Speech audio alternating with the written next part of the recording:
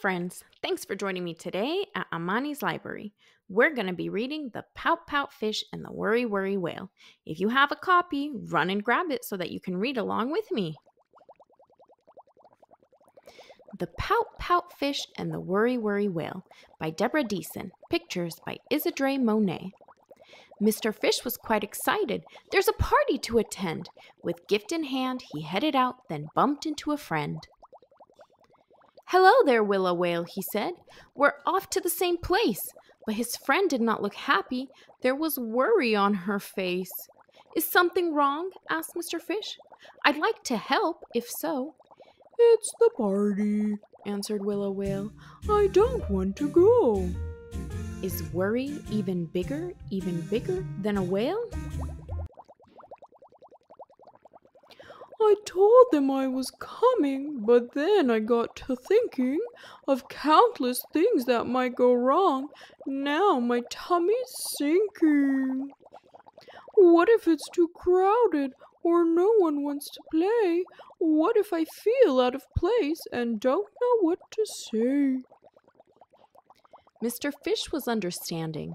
Sometimes I worry too. Worry tells us stories, but not all of them are true. So take a great big breath with me to soften Worry's voice. Then pick one thing, just one, to try. A tiny little choice. Maybe worry isn't bigger, isn't bigger than a whale.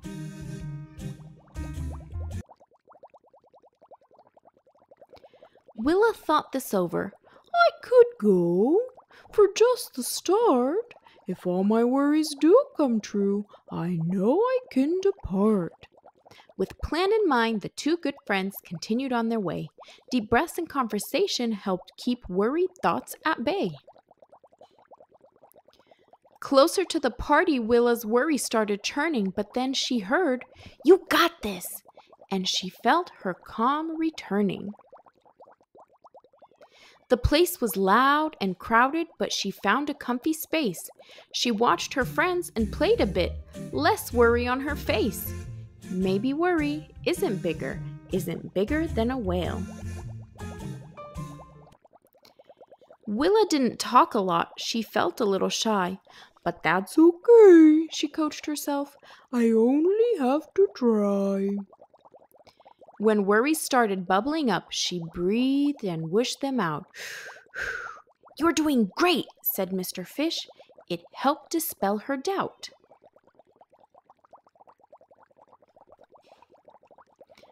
But all at once her peace of mind upended in a burst. The time had come for singing. And my singing is the worst.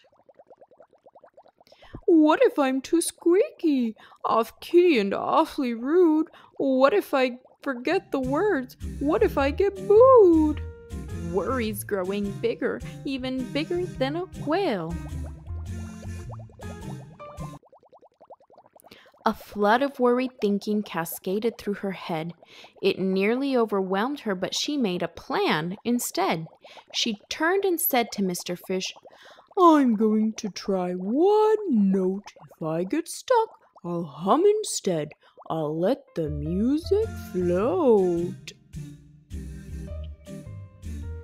So Willa tried. She sang her note. The voices joined as one, and Willa Whale enjoyed herself. This party has been fun. Worry tells us stories, but not all of them are true. So when worry swims inside me, there are things that I can do. I can find a friend to talk to, then breathe and make a plan, and choose a tiny step to take, believe, and know I can. Because worry isn't bigger, isn't bigger than a whale. Thanks for watching, and don't forget to subscribe and like so we can read together again. Let me know what book you want to read next in the comments below. See you next time!